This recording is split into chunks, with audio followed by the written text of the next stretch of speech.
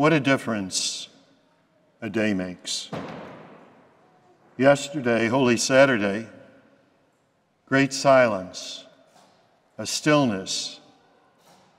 As an ancient homily for Holy Saturday declares, the whole earth was silent because Christ was asleep in his tomb.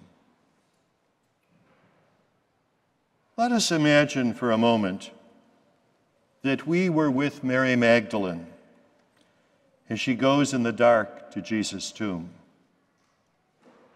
I am sure her darkness had as much to do with her heavy heart as it did with the natural darkness of the early morning hours.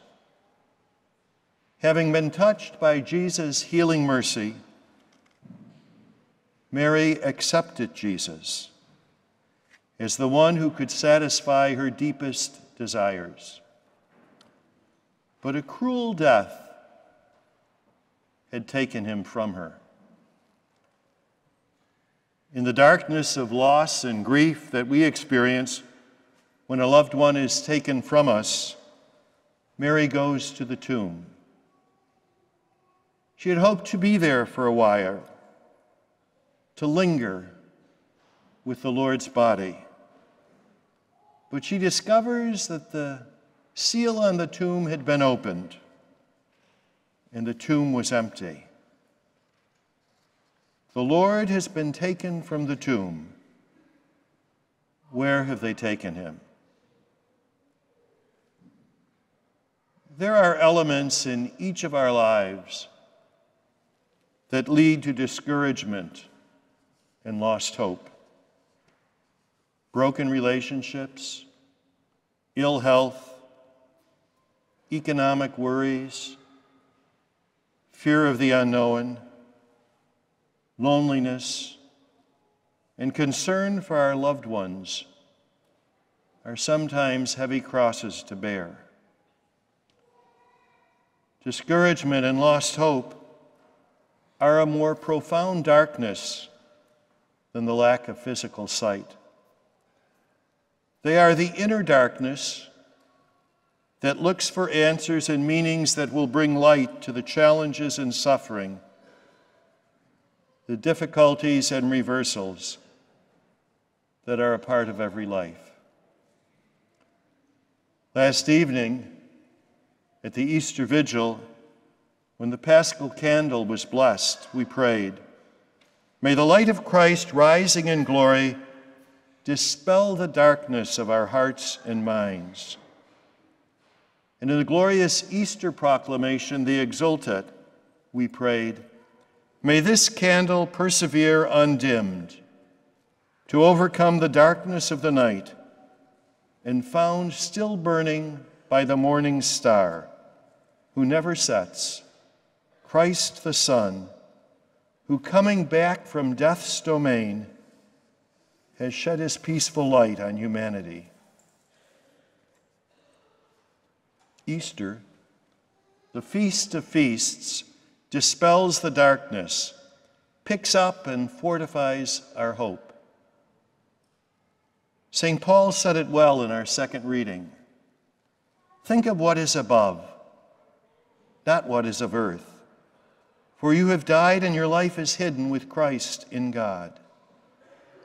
Yes, despite the darkness that ails us physically or spiritually, despite the broken and sinful features of our lives, despite the deep wounds and lack of unity in our world, God is present. He lives, and we live in Him. Yes, today is different. This is the day the Lord has made. Let us rejoice and be glad. Christ is no longer asleep in the tomb. Christ, our hope, is arisen. He is our light and our joy. This is the special grace of Easter.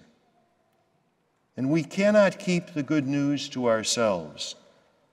The gospel for today stops short of telling us the rest of Mary's story in the garden. When Peter and John depart from the garden, Mary remains weeping because she cannot find the Lord. She meets a gardener and inquires if he has carried the Lord away.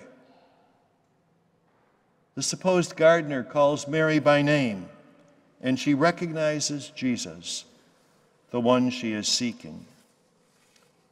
Immediately, Mary goes to the disciples and announces, I have seen the Lord. And she tells them everything Jesus told her. Mary's telling of the good news is a task that has been passed on to us. Quoting Pope Francis, the heartbeat of the risen Lord is granted as a gift, a present, a new horizon. The beating of the heart of the risen Lord is given to us and we are asked to give it in turn as a transforming force, as the leaven of a new humanity. Each year, the Church, in her wisdom, teaches us anew about the treasures of our faith. The retelling of the story of salvation is essential in keeping our faith alive. For 50 days, we will journey through the Easter season.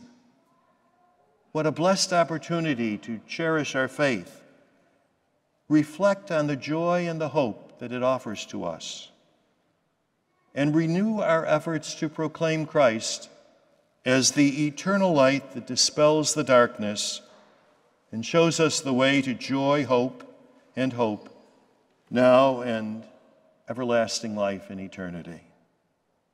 The Lord has risen. This is the day the Lord has made. Let us rejoice and be glad. The first gift that the Lord gave to his disciples after the resurrection was the gift of peace. May he fill your hearts and your home with that same gift of peace. A happy and blessed Easter to all. Know that you are remembered in a very special way in this Mass and at every Sunday Eucharist.